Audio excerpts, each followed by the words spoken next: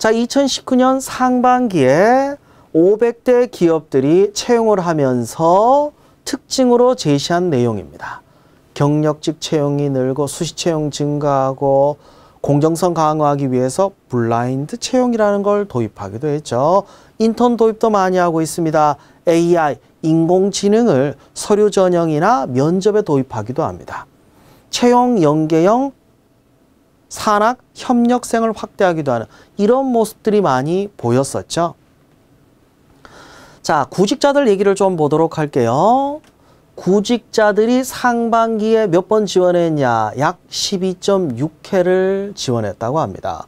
근데 51회 이상도 있어요. 와, 51회. 그러면 그냥 밥 먹고 지원하고 밥 먹고 지원하고 밥 먹고 지원했다는 얘기밖에 안 되겠죠. 근데 서류를 몇 번이나 통과했을까 좀 의문이 가네요. 평균 서류 합격 횟수가 2회인데 한 번도 합격 못한 사람들도 34.1%나 됩니다. 소모전을 하는 경우들도 꽤 많았다는 거죠. 면접 합격 횟수 평균 1.4회입니다. 취업 준비 기간이 5.4개월이라고 하는데 상반기만 그렇다는 얘기죠. 그 전년부터 계산할 수도 있죠. 평균적으로는 1년 이상 준비하는 사람들이 꽤 많다고 합니다. 근데 지원하시는 분들이 잘못 알고 있는 게 있습니다. 서류에 왜 불합격하는지 스스로는 스펙 부족을 가장 많이 꼽아요. 나이를 꼽기도 하고 자소서를 잘 못 써서 직무 관련 경험이 없어서 정보가 부족해서 다른 건 이해가 되는데 절대 이해할 수 없는 게 있습니다. 바로 이거죠. 기업은 직무 역량을 평가하려고 하는데 스펙이 문제라고 생각을 해요. 즉 기업이 평가하는 기준하고 완전 다른 기준을 가장 중요하게 꼽고 있죠. 그리고 나이가 절대적 기준이 아니에요. 뭐 그렇다고 해서 여러분이 뭐 제 나이 정도 됩니까? 아니에요. 대부분 지원자들이 나이의 부담을 느끼는 게 한두 살밖에 차이가 안 나요. 나이가 핵심이 아니라니까요. 직무 적합도 그리고 잠재적인 역량을 중점적으로 평가하겠다고 그렇게 얘기하고 있는데 지금도 스펙이 부족해서 지금도 나이가 많아서 이걸 따지고 있으니 문제가 있겠죠. 구직자들이 어려워한 이유 채용 공고가 부족하다. 아니에요. 공고는 많이 떠요. 여러분이 통과를 못해서 그런 거죠. 직무 관련된 전문 경험이 부족할 수밖에 없죠. 왜인지 말씀드릴까요? 여러분이 거기에 맞춰 준비해 온 게 아니기 때문이죠. 직무 적합도를 평가하고 직무 역량을 위주로 해서 평가하겠다고 하는데 그렇게 준비를 못 해온 게 문제입니다. 그럼 어떡합니까? 지금부터 준비하셔야죠.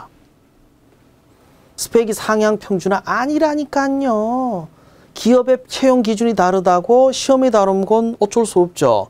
왜냐하면 국가고시가 아닌데 통일할 수는 없잖아요. 여러분이 여기저기 마구잡이로 지원하다 보니까 어려워지게 된 겁니다. 자기소개서가 왜 까다로워졌냐고요? 까다로워질 수밖에 없는 게 직무 역량을 평가해야 되니까. 그러니까 채용에 맞춰서 제도가 바뀐 것 뿐이에요. 수시 채용이 늘고 미안한 말씀을 좀 드릴게요. 기업은 여기에 대한 관심이 없어요. 구직자들이 얼마나 어려워하는지 전혀 관심이 없습니다. 오직 필요한 사람을 그들이 제시한 기준에 맞게 뽑는 것 뿐이에요.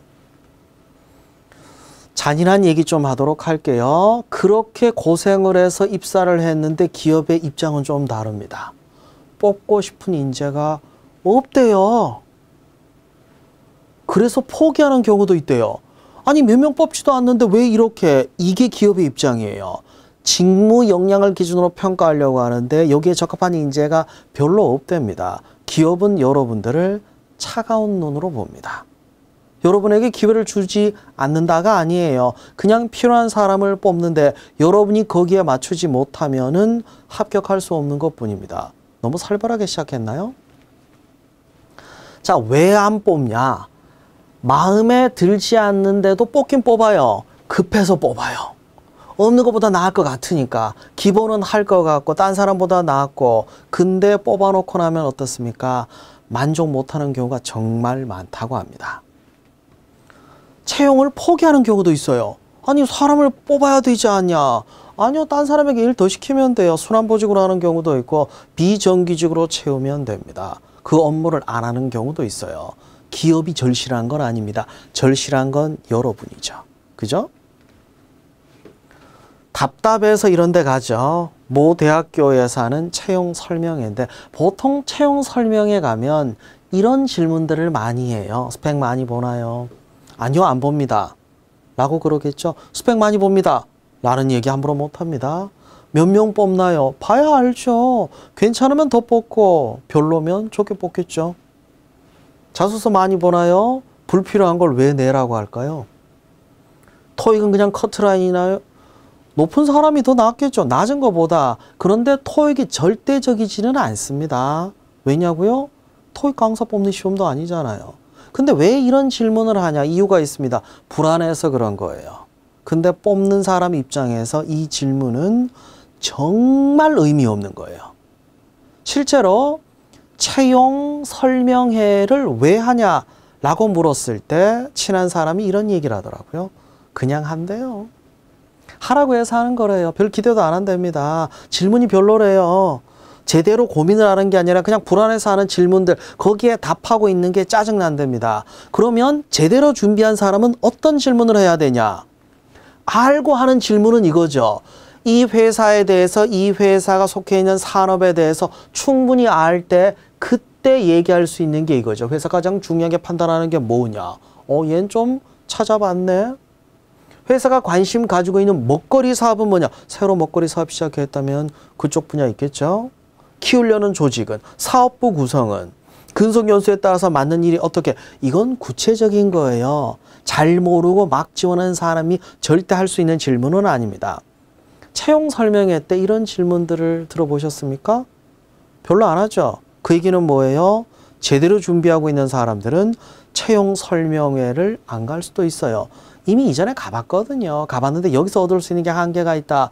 불안하면 어떻게 해야 됩니까? 채용 설명회를 돌아다닐 게 아니라 더 구체적인 정보를 찾아야 됩니다. 그리고 설명회에 가서는 그걸 토대로 질문을 해야 돼요. 여러분이 찾아보고 알아보고 조사한 걸 토대로 이런 질문을 해야지 불안해서 그냥 하는 질문들은 아무 의미가 없어요.